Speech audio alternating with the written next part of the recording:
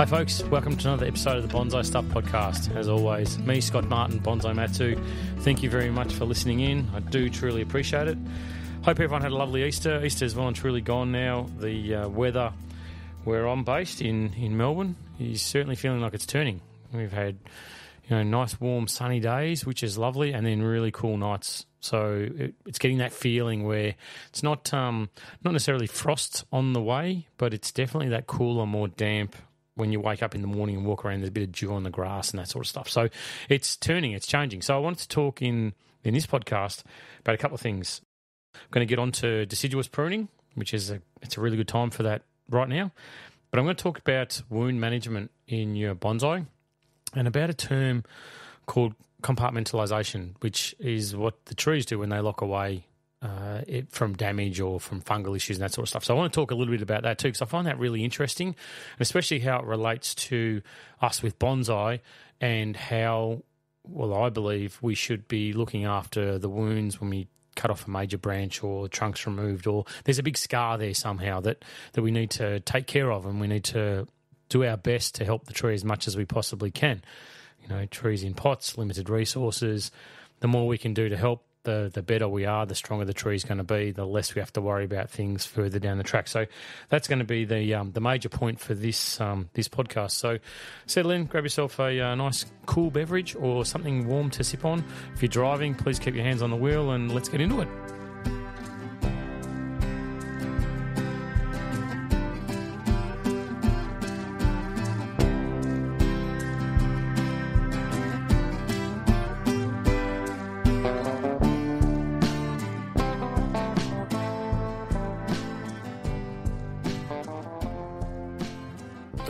So there's a term, CODIT, C O D I T, stands for compartmentalization of decay in trees. So what that basically means is these trees that we love are so damn smart that they will lock away uh, infected areas or parts of parts of the tree that are decaying or have fungal issues, and prevent it from spreading through the rest of the tree. So, so CODIT right. So it's compartmentalization of decay in trees. And where that um, where that gets really cool is they create these these barriers inside the tree, and those barriers create like a like a last line of defense, if you like, for the for the tree. So it stops decay or you know fungal issues from spreading into the the, the vascular system of the tree.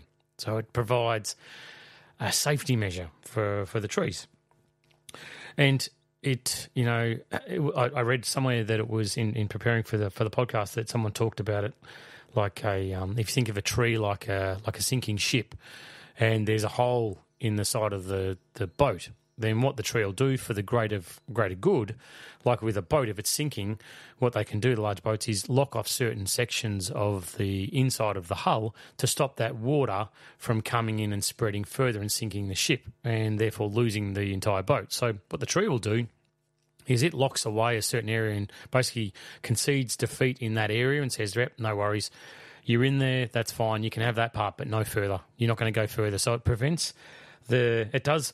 It provides something to the rest of the tree to prevent the rest of it being damaged at the expense of that particular area on the tree that's got the the decay or the, the rot or the, the fungal issue that's that's happening in it. So it, it basically separates the infected material from the rest of the tree and stops uh, or mitigates the spread of the issue through the rest of the tree. So sacrifice something for the greater good of the rest of the tree, which, you know, it's pretty cool. I love it. I remember when I, I did some study, agricultural, arboricultural study, and I read all about this a long time ago. It was like, that was really cool. Like, it's not something that I'd heard talked about when it came to, to bonsai.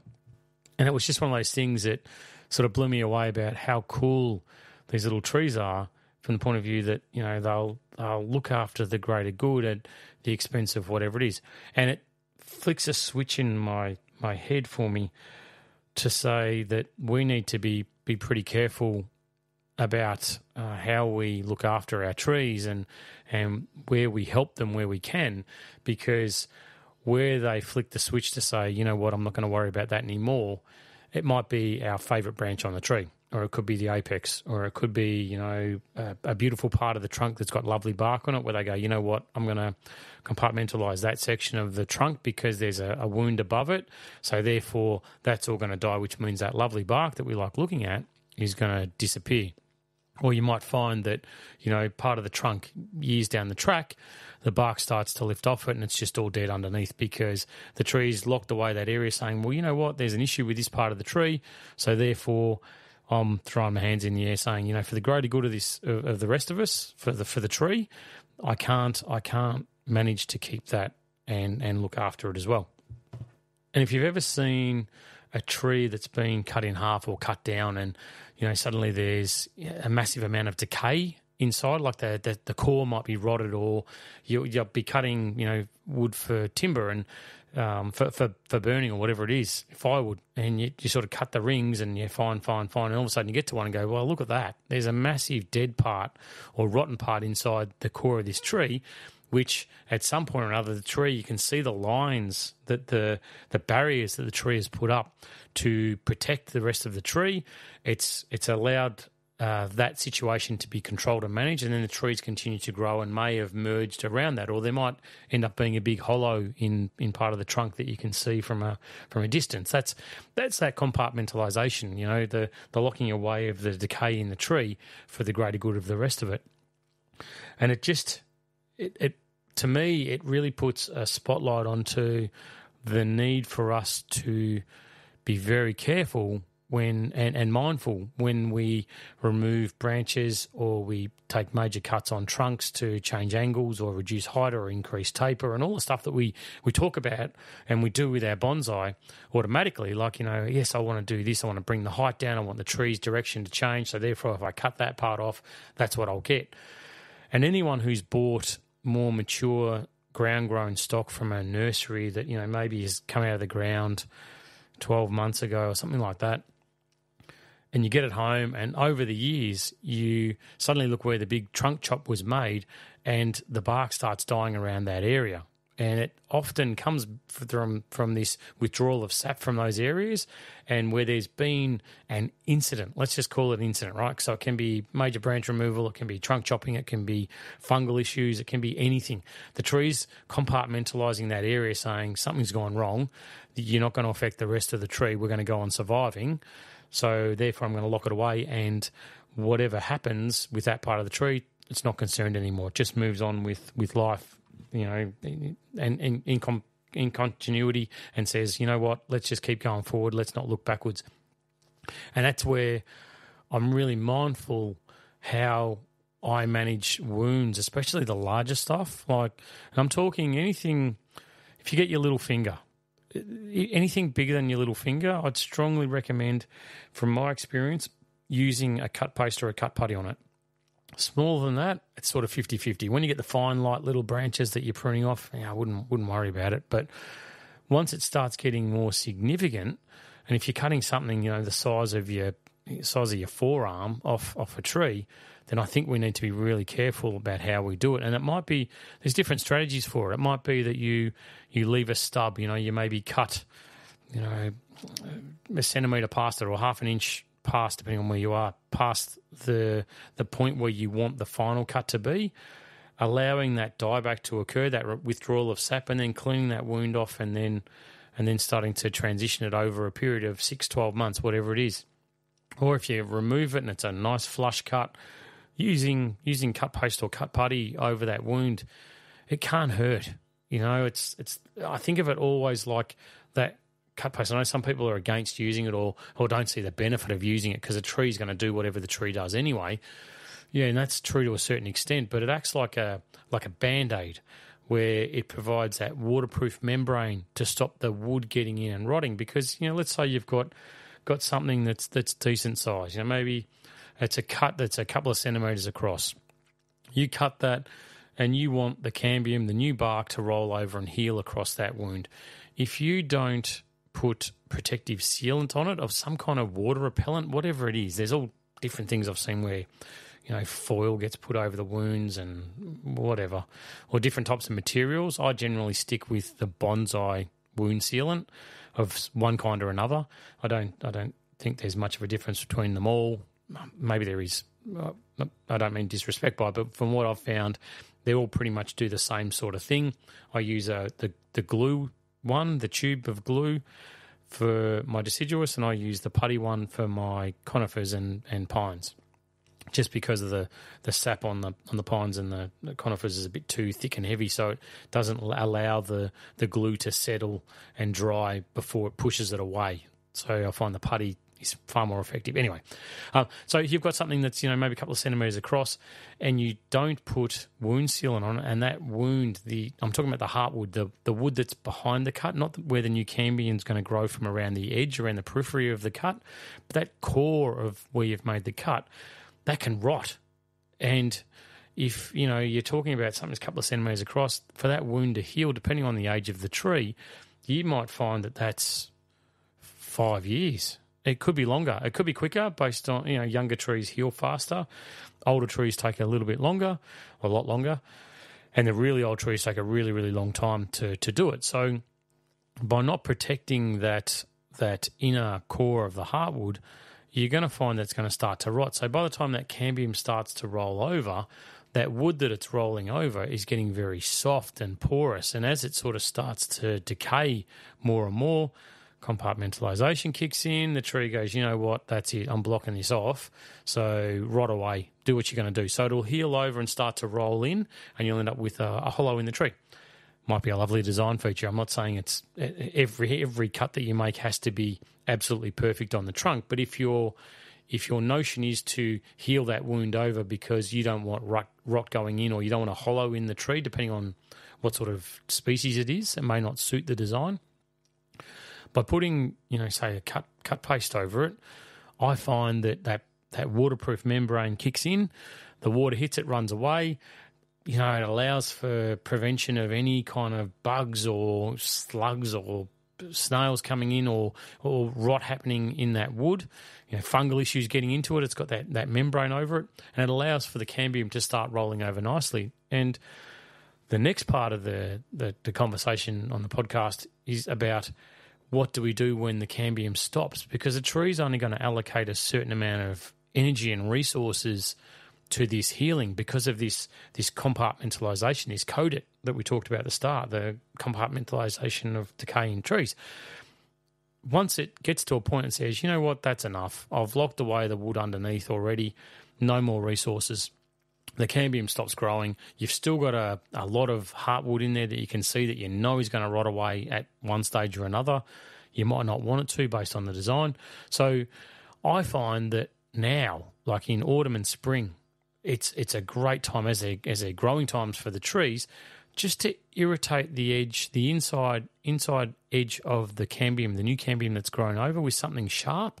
I use a little gin knife that I've got that I, I get from Japan. They're fantastic, but it could be anything. It could be um, the, the, tip of your scissors where you sort of scratch it around the edge of the cut, or a piece of you know bonsai wire, maybe four or five mil bonsai wire that's got a bit of rigidity, and you cut it on a nice sharp angle, and it creates like a little blade. Whatever it is, I find that just going around the edge of those wounds at this time of the year and irritating them to the point that the tree goes, you know what? There's something attacking the the work that I've done. I need to put more resources to it. So then the cambium continues to grow inwards. I found that when I just leave it to its own devices, it may or may not heal over properly, and it may or may not take you know forever for it to happen. I found that by irritating during the autumn period and spring period, so twice a year, just getting to give a little scratch. You know, you don't want to do it so much that you're actually removing all the new new bark that's growing there. You just want to scratch the edge so you see the light green, fresh new growth underneath, and then put some more cut paste or cut putty over the top of it and walk away.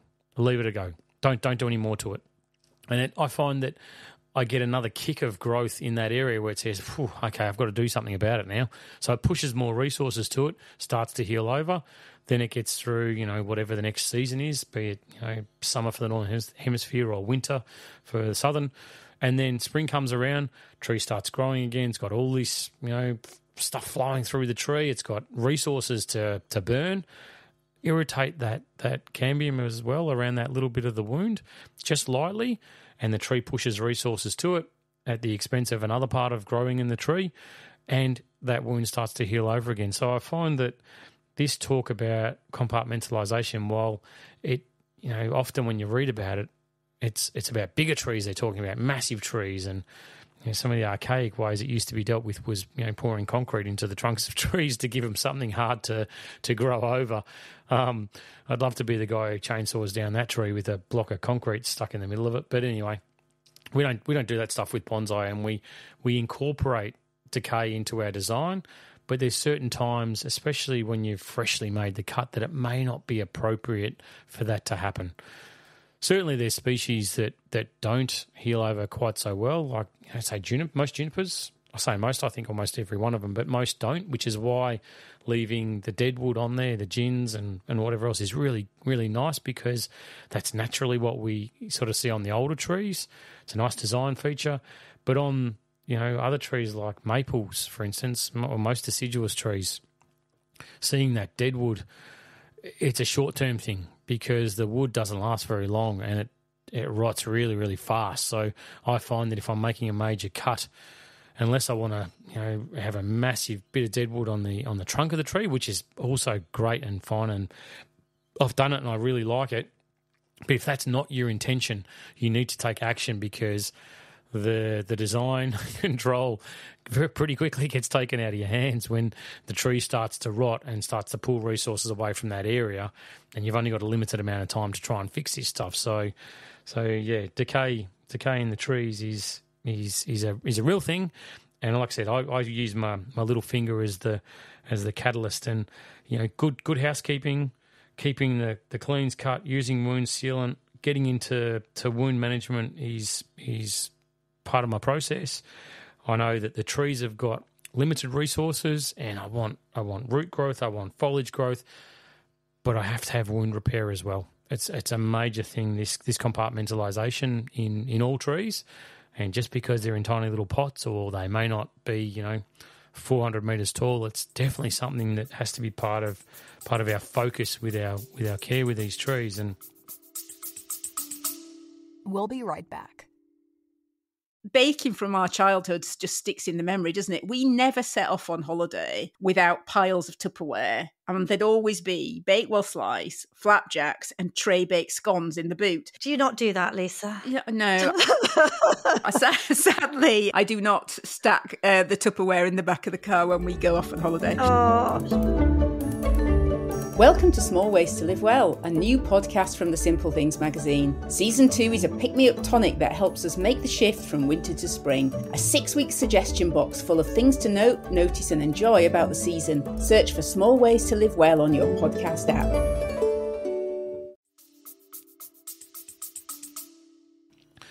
To be honest with you, where this talk about compartmentalization came from because I, I love that word. I love saying it. Just, it sounds great. You know, compartmentalization. You can use it in, you know, so many different facets of your life from here on out. But I um where where I look back at my notes for for this episode of the podcast, where compartmentalization came into it was I want to talk about us as bonsai enthusiasts, as, as these bonsai lovers, and it stemmed from a mistake or an omission or an error that came along. And I, I'm I'm in a position where I hear a lot about these things because often people reach out when when things go wrong. You know, trees didn't get watered when they went away. What should I do? Or the trees change color, or I've got you know these bugs on it, whatever it is. And and so for me, my thinking was uh, we need to as as tree lovers, as bonsai lovers, be able to compartmentalize when things go wrong, when it doesn't work well for us. And that was my first note was we need to learn about compartmentalization with our bonsai so we can continue moving forward. It's we don't get to a point and go, my favorite tree has died. That's it. I'm done. I think there's I think there's so much more to it than than one individual bonsai. I think that what we get out of this, you know, mentally and, and physically and emotionally out of out of being around trees is so much more than that and we need to practice the process of compartmentalization, learning learning from the issue, learning from the process that I've talked about before, but but taking taking your stride, drawing a deep breath, and being able to lock it away and go, you know what, that's okay. Whatever it is, I'm going to move forward because I've said it before. You know, a branch falls on a tree and smashes the pot and tears off the key branch. I guarantee you, three or four years down the track, when that tree is redeveloped, you'll be looking for where that branch came from, and that that is hand on heart, honest truth. That I have it with me, where I, I do things or things happen with a tree or a branch dies, and it's like, oh, that's it, that's done, design over, game over, we're done. Then I look back somewhere down the track and go, oh, that's right, that that had that branch that died in. Oh, where was it again? Oh, that's there it is there, and the wounds healed over. The rest of the trees continued to develop. I still love it. I still enjoy the time with it. Yeah, it's not what it was, but it doesn't matter to me anymore. It's not what I don't love it because of what it was. I love it because of what it is and what I what we both get out of our interaction. You know, the tree lives forever and thrives and is in in such a good condition that it possibly may never have got that good if it was growing in the ground. And you know, it's got to say thank you to me for saying, you know what, I'm going to live for a thousand years now, thanks to you, mate. Good, good work. And and I get a lot out of it too. And I, you know, the the the item is reciprocated. So that's where this section of podcast came from. We've got to lock it away. And I, by doing that, I went, well, I've now got to talk about compartmentalization. And when I started digging, it's like, oh, well, let's talk about decay because that's it's actually a really interesting topic.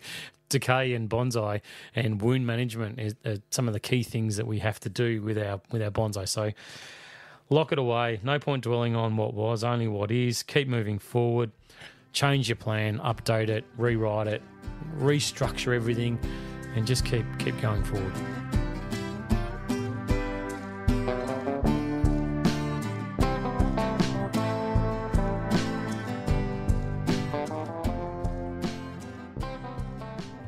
I've said it before and I'll say it again. I really do love the subscribers to this podcast. It means a lot to the continuity of it, and um, it means a lot to me to know that I've got the support of a, of a range of people out there that um, that really believe in in what this podcast is about. So, thank you very much. And if you aren't a subscriber but you're thinking about it, you can you can jump on board for as little as three dollars a month, and it, like I said, it really does go a long way to supporting the continuity of this this podcast for everybody. So please consider, and if you'd like to, and if you've got the means to, then then jump on board and become a, a bonsai lover like the rest of us.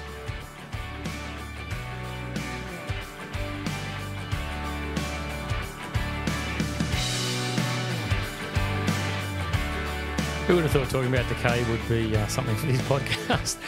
anyway, it, there's a lot more to it. I've, I've breezed over it. I've, I've, I've, basically simplified and cut down, you know, lots and lots of work and and there's so much more to it. If you are interested in in finding out about decay, I'd, I'd strongly recommend that you, you have a read about it. It is it is an interesting topic. But I want to move on now to talk about deciduous pruning, where we are now, sort of getting into you know, we're, we're a month deep into autumn now, so we're getting to the heart of things, and it's a really good time for a um, for a deciduous pruning to give your um, give your trees a, a nice cut now prior to dormancy. There, there's ideal times for it when it comes to to pruning, and it's just prior to leaf drop. That's not always possible, and it depends on the volume of trees that you've got. It's like um, like black pine work for me.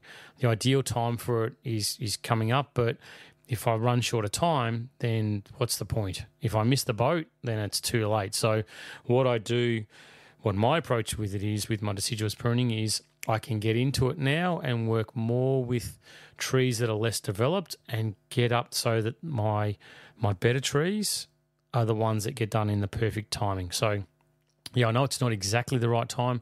We still need to wait a little, if you can, if you only got one or two, maybe wait just a little bit longer. Just prior to leaf fall is when you want to be doing the um, the, the deciduous pruning. But like I said, you can't uh, you can't always have the luxury of time depending on where you're at. So I like now forward being my real go time because you find that when you start making your cuts now on your deciduous, you're far less likely to get a second flush of growth. If you'd done it, you know, a month or so ago, then you're more likely to get a, a flush of growth where the buds will activate because it's still in the growing period. Whereas now it's flicked the switch, starting to pull resources back in. You look around street trees at the moment, and where I am, they're they're starting to change colour.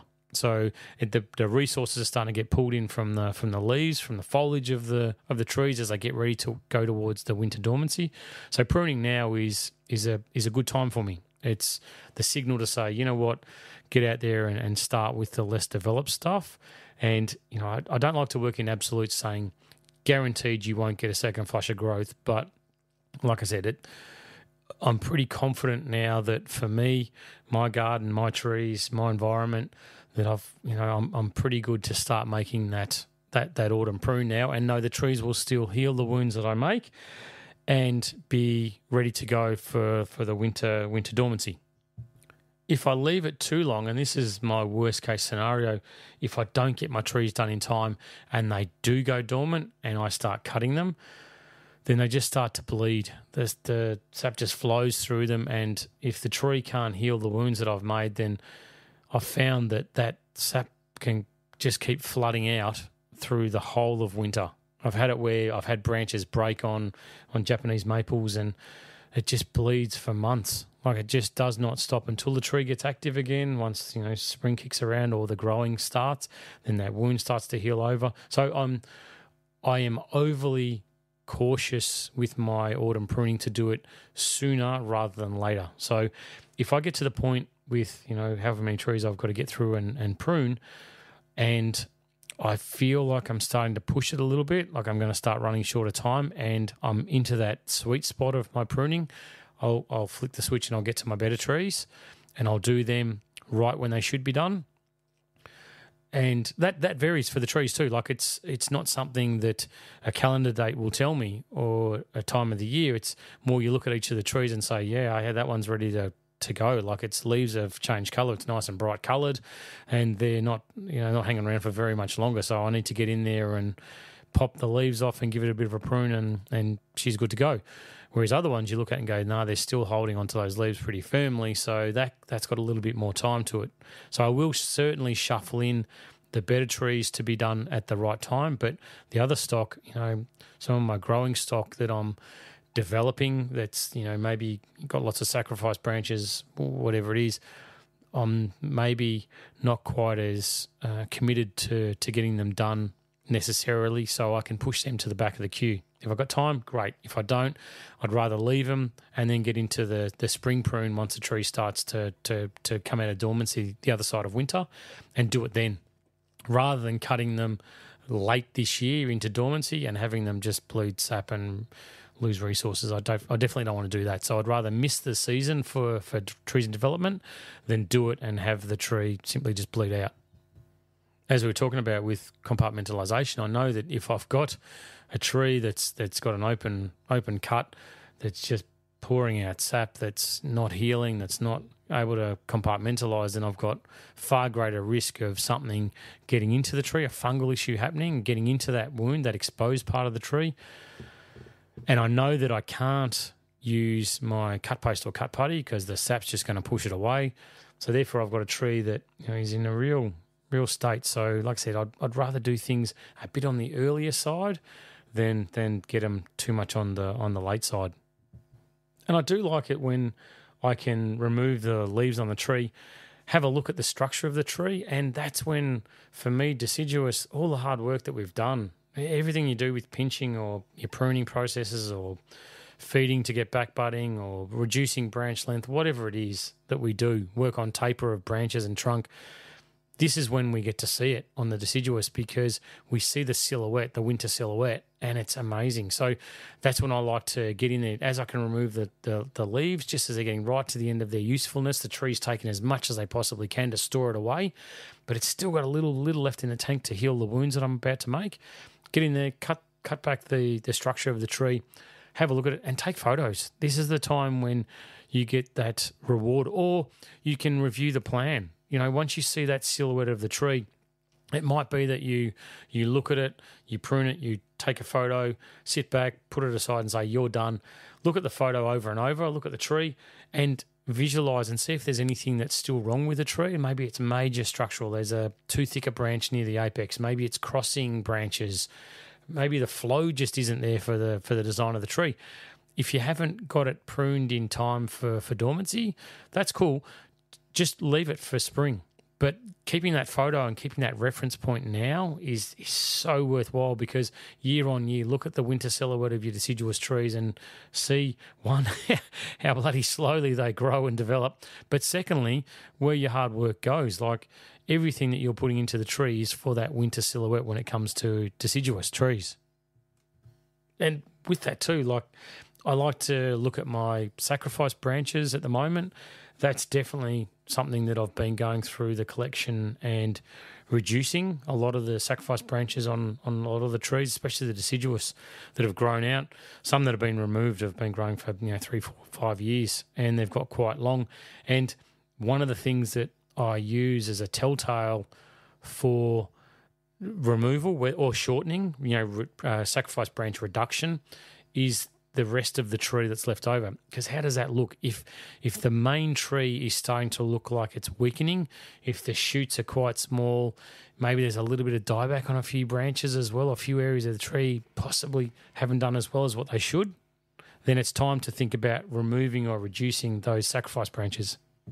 And when you look at the sacrifice branches, just think about one is the job done what did what was the sacrifice branch for there in the first place? You know, was it trunk thickening? Was it branch thickening?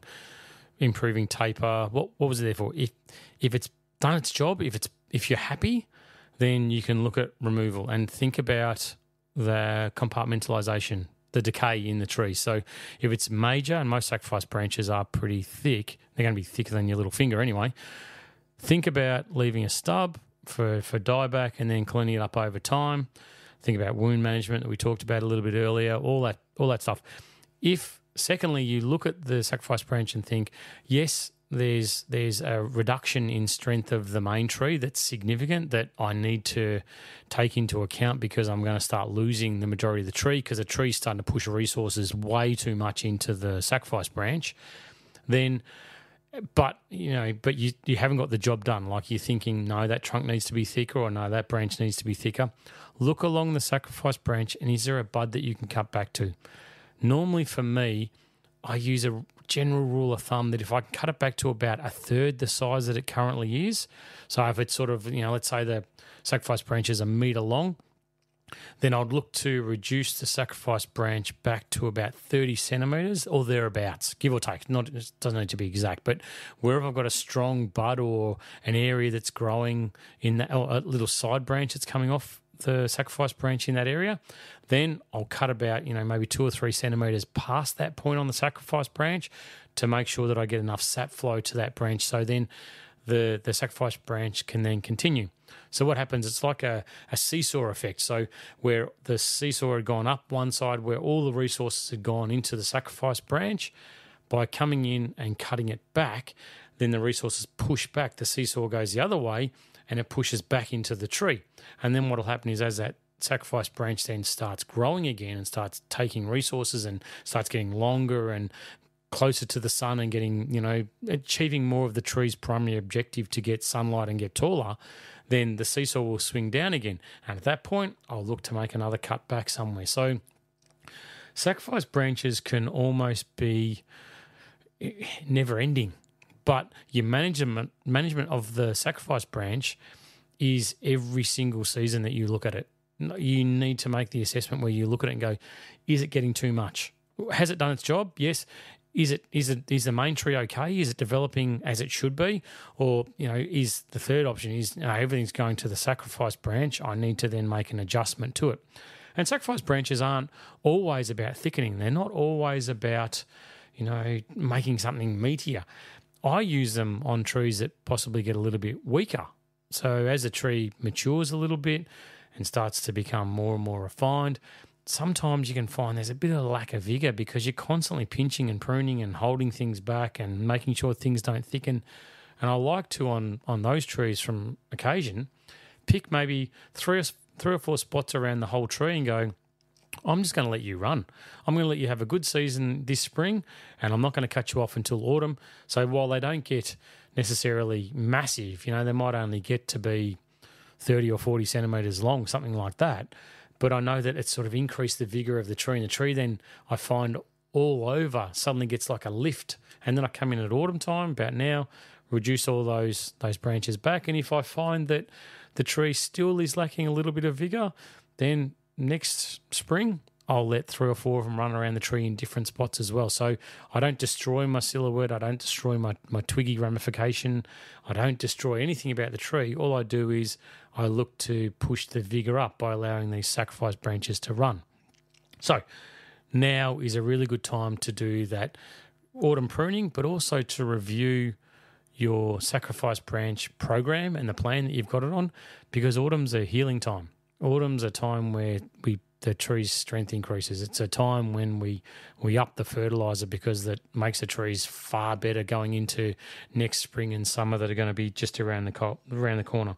So when the foliage is is green, it hasn't taken up the nutrients from the leaves, and pruning at that point can be not as beneficial as once the leaves have changed when the tree's taken what it needs. You might find that you get a little bit of another growth spurt at that point, but you might not.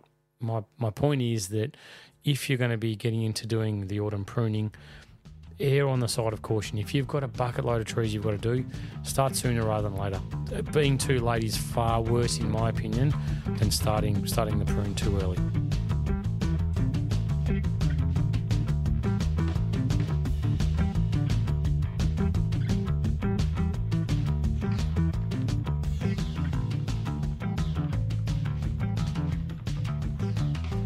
And that, my friends, brings us to the end of the podcast. Thanks for sticking around. Hope you've enjoyed it. Hope you uh, enjoyed listening to me talk about tree decay and autumn pruning. But they are really important, and the two go hand in hand now. Like I said, autumn's a really it's a beautiful time for our trees. Man, I love the I love the look of the deciduous. I really do. I, I, love where the pines get to at this time of the year as well. After you know, if they've been decandled or even if they haven't, if they're a single flush or whatever, they everything just looks beautiful about them. And I know that I'm, my fingers are itchy trying to get in there and actually get my pines all worked. It's it's almost time to to get in and pluck the needles and make them look magnificent again because they might be a bit woolly around the edges. But anyway, it is a great time. It's a really nice time to spend with your trees. You're going to have difficulty now. I'll just let you know you're going to have difficulty with watering your trees at this time of the year. It's always tough. This change of season, you know, being hot, cold, wet, dry, windy, stagnant, it's it's always a difficult time to try and get it right. Still prone to getting leaf burn. We you know we've got uh, day the other day was you know 29 and then thunderstorms in the afternoon. I know we're in Melbourne, but it's it's true. You know things change pretty rapidly and pretty quickly. Just watch it. The tree is still going to be using a lot of water, a lot of water uptake. So I, as, as with most things, err on the side of caution and try and overwater rather than underwater but it is a um, it is a is a tricky one to get right. But keep that food pumping out as we head into the the second month for, for autumn. You know, you should be on to the if you're using the tea bags, should be well and truly onto a second dose of fertilizer. And check your pines too. Maybe it's time to start feeding a few of those. A few may be coming the other side now of of the uh, decandling the black pines I'm talking about, where their needles have started to set and change colour and they're ready for, for fertilizing be nice if you can because they need a good good boost of it um, before it gets into to dormancy to build their strength up, and especially things like white pines. Now's um now's not a bad time to to get into fertilizing those to build their strength as as well because their fertilizing's held back a little bit in in spring. Anyway, so thank you for sticking around. Thanks for listening. Thank you to subscribers. You are just bloody lovely. I love you all. Thank you very much. And I'm looking forward to the next episode of the the Bonsai Stuff podcast. Got um, got a little bit about uh, protection techniques on major bends for the next one, which will be interesting, considering that um, of uh, by the time it comes out, I'll have been at the uh, the Bonsai Open up at the Central Coast, which I, I can't wait to talk about on the podcast and let you know the um, the feedback from that. And it should be one of the best shows I think uh, around Australia. So we'll see. We'll see, and I'll, I'll let you know what um, what happens. Until then, spend time with your trees. As always, give them a hug, give them a cuddle. Make sure you fertilise them, give them lots of food. They need it right now. And until next time, happy bonsai.